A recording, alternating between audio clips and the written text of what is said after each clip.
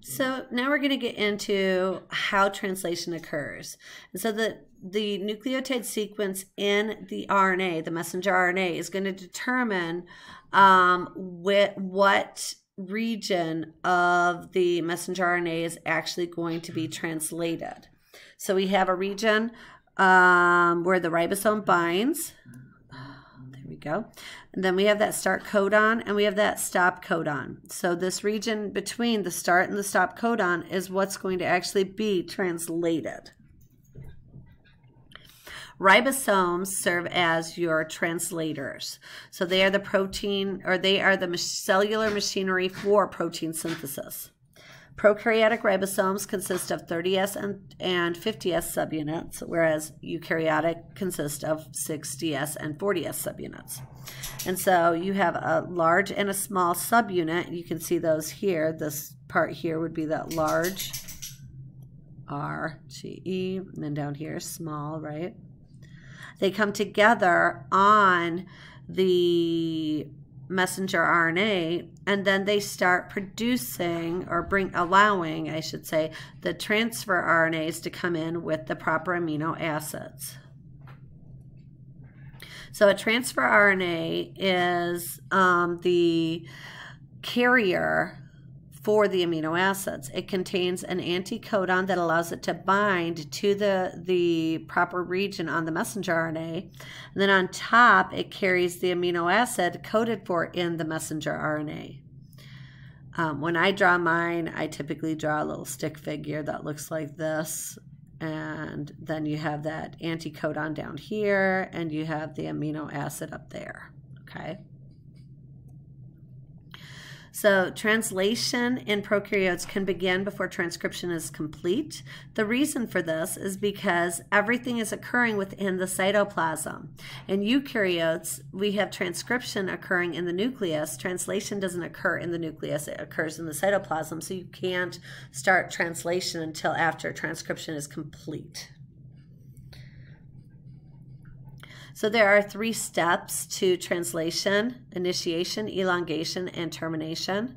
Initiation occurs when the ribosome comes together on the messenger RNA. So you have that small subunit, which you see down here. Hold on, right there. And you have that large subunit right here. There are three different sites. There's an E site, a P site, and an A site. The P site is the very first site where transfer RNA comes in, carrying with it the first nucleotide or the first um, amino acid coded for in the uh, protein. And in general, the first nuc- or the first amino acid is always going to be methionine or an altered form of methionine. That's going to always start translation. So methionine is the start codon. Once the methionine attaches, then another transfer RNA carrying the next amino acid is going to move into the um, A site. So now we have methionine and we have proline. They're sitting next to each other. At this point, the methionine and proline are going to produce a peptide bond. And the methionine is going to be released from the first transfer RNA, moves and attaches to the proline. So now we have that first peptide bond.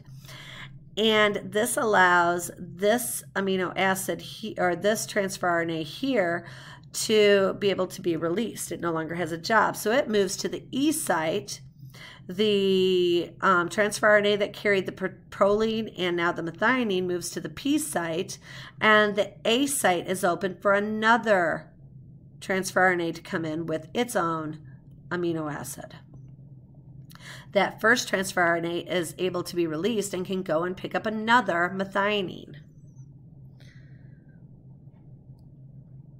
So this is going to continue every time a new um, transfer RNA with a new amino acid enters that A site. We're going to produce another peptide bond and shift all of the um, polypeptide to that A site onto the new amino acid. And this continuously produces this longer and longer polypeptide of amino acids and allows the transfer RNAs to move off and pick up new amino acids. This is going to occur until we hit a site called the terminator sequence. So UAG is one of the three terminator sequences.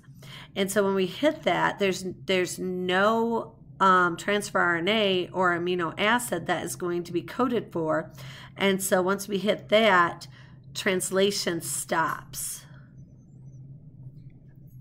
So when translation stops, the amino acid sequence, that polypeptide, can then fold up into its functional form, whatever protein it is. The ribosomes can come apart and um, they're free to, to attach to a new um, messenger RNA. The messenger RNA can be read again until it is degenerated.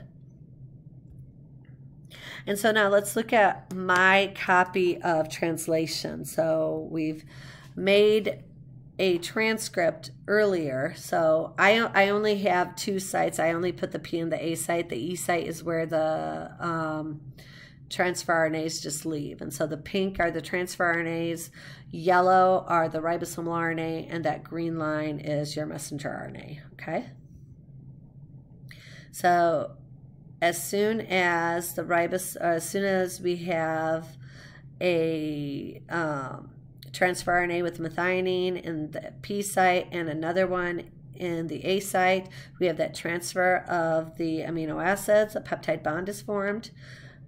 And then this is going to the initial um, one that was in the P site is going to move over. Uh, we're going to have another amino acid or I'm sorry, not amino acid, another transfer RNA being able to move to that A site. Eventually, it's going to move to the P site. We'll have new amino acids moving in, and we're constantly just going to keep moving them over. And I'm just kind of showing you this until we hit a stop code, which this is a stop code. And once we hit that stop code, then the amino acids um, can fold up into their functional protein. The RNA can leave, or the ribosome can leave and produce a new, or can read another messenger RNA. The transfer RNAs can pick up new amino acids and wait for another protein synthesis to occur. Um, and the messenger RNA can be retranslated until it's degenerated. So I'm going to stop here. It's been an eight minute minute video and we'll talk about some differences between eukaryotic and prokaryotic gene expression in our next video. Bye.